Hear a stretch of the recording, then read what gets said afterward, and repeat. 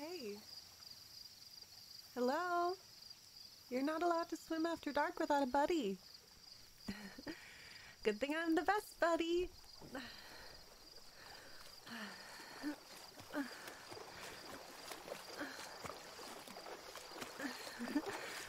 Oh, it's you. oh, I didn't peg you for rule breaker. Mhm.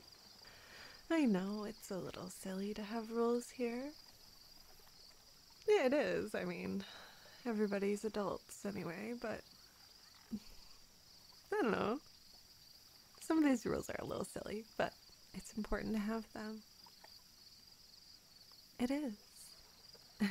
yes, it is. How can you break the rules if there are none, huh? Oh, yeah, I'm a bit of a rule breaker myself. It's how I became a counselor, actually. oh, y- you don't want that story. No, no. No, you don't need to know how much of a bad girl I am. Yeah. How about you tell me why you're a camper? Well, people come here for many different reasons. I love to collect them. So, can I have yours? Hmm. Mm-hmm. Absolutely. This place is good for that. Mhm. Well, they do say nature is healing, so I'm glad you found us for that. Yeah, I missed the whole sleepaway camp thing when I was a kid, so it's just perfect that this place exists for adults like us. Mm. Come on, follow me. Uh, up here. There's a little shack on this island.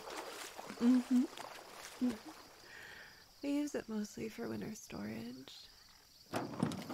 Yeah, mostly. Hmm. Disappointed we're not the first to use it for rule breaking activity. We can pretend we're the first. I can be quite the romantic, you know? I wouldn't want to christen the love shack with anyone else but you. Honest.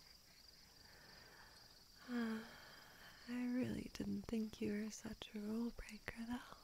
I wonder what else I can learn about you tonight. Everything, I hope.